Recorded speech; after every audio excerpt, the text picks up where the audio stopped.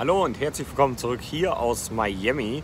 Ähm, ich dachte mir, ich mache mal ein kurzes Update-Video so zu den ersten Tagen, zu meinen Eindrücken von Miami, von der Konferenz und dem ganzen Drumherum. Und äh, ich hoffe, dass es von der Lautstärke geht. Ich bin direkt an der Straße, aber das Telefon filtert eigentlich die Sachen ganz gut raus. Der Ton könnte ein bisschen dünn sein. Ähm, Versuche deswegen ein bisschen lauter zu reden.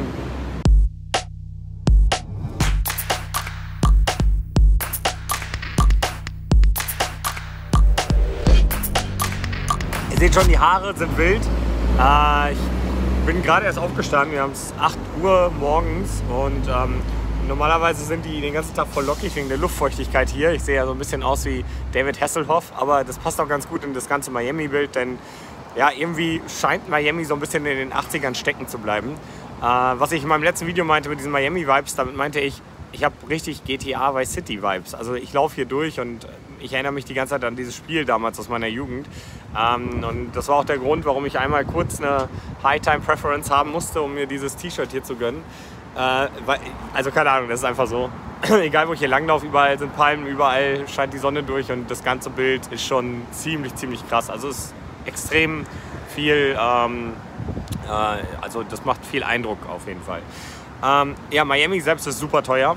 Ich glaube, an dem ersten Abend, wo wir raus waren, waren wir in einem Restaurant, wo es später auch noch Getränke und so gab. Und ich trinke ja keinen Alkohol, aber andere von uns haben das halt gemacht und haben sich äh, so kurze bestellen wollen, so eine, so eine Runde.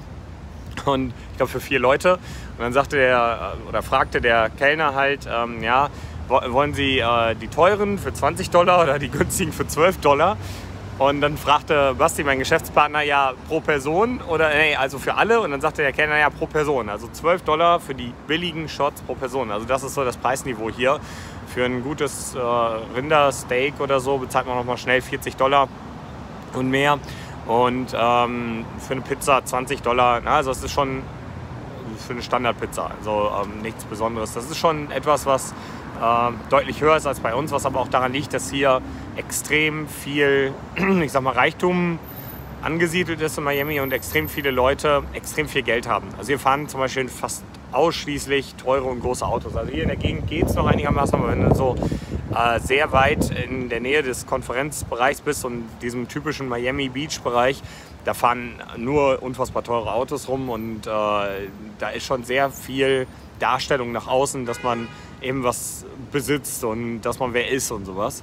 Und äh, ja, dementsprechend ist ja auch das Preisniveau ganz einfach. Ja. Ja, der nächste Punkt ist, dass wir jetzt schon einige Leute hier getroffen haben. Äh, waren viel mit Lina unterwegs und auch mit anderen.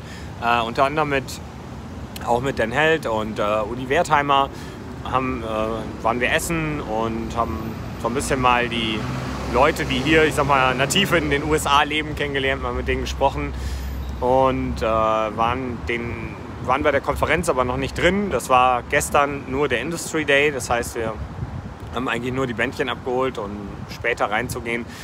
Und was man schon sagen muss, ist, dass das ganze Event und das drumherum nicht so viel mit, mit dem äh, Bitcoin-Ethos zu tun hat. Also es ist sehr, sehr äh, krass, was, also erstmal so nicht auf dem Event selbst, aber drumherum, äh, außerhalb des Eventbereichs sind halt übelst viele, ja, Leute, die ihre NFTs und sowas bewerben.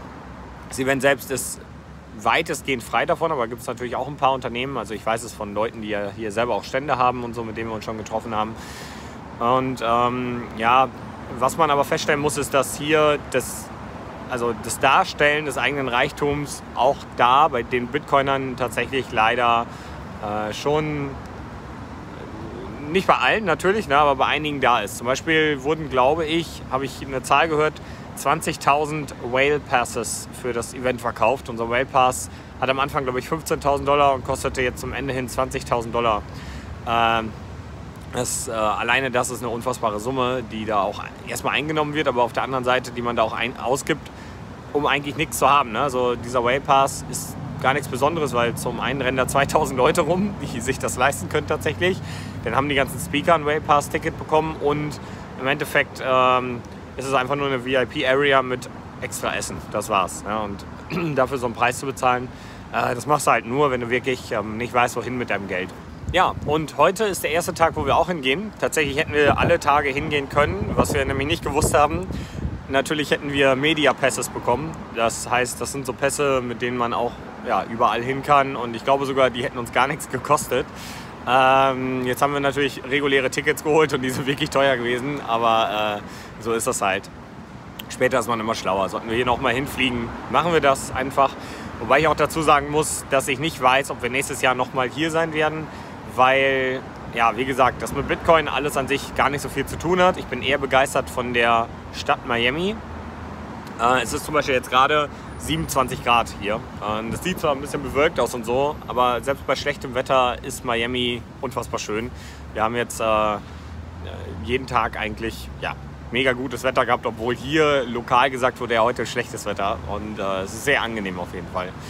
Genau, und dementsprechend glaube ich, ich bin jetzt sehr gespannt auf den ersten Tag und hoffe, dass er ein bisschen mein Bild von der Konferenz dreht. Aber ich denke, dass es ziemlich, ziemlich überlaufen sein wird. Also viele, die da jetzt schon waren am Industry Day, haben gesagt, ja, das war an dem Tag schon unfassbar voll. Und das waren ja nur die Leute, die auch wirklich diese Tickets hatten für diesen Tag.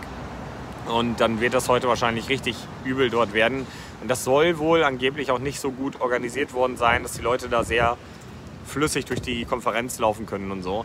Äh, aber ich bin mal gespannt. Ja, das werden wir sehen. Auch wie viele Möglichkeiten man hat, wirklich zu den Speakern, also zu den Vorträgen zu kommen. Das ist ja auch mal so eine Sache. Ich glaube, da ist auch die Räumlichkeit begrenzt. Da passen nicht wirklich alle 30.000 Teilnehmer oder wie viele das Event jetzt am Ende hat rein. Da müssen wir mal ein bisschen schauen. Ja, ich denke aber, dass ich trotzdem morgen mal ein Video aufnehme vom ersten Tag. Ein paar Leute oder ein paar Vorträge will ich mir anschauen, ein paar Stände will ich besuchen, die es dort gibt. Und ich bin mal sehr gespannt, äh, was es dabei zu berichten gibt. Ja, ansonsten wünsche ich euch noch einen wundervollen Tag. Ich hoffe, bei euch ist das Wetter einigermaßen. Ich habe schon gehört, äh, in manchen Teilen leider nicht so gut. Hier wird gerade gehupt. Äh, wir springen jetzt gleich noch in den Pool, gehen dann frühstücken und auf zum Event. Und dann bin ich mal gespannt, was der Tag morgen so bringt oder was in meinem Video morgen dann so kommt. Macht es gut, liebe Leute, und tschüss zusammen.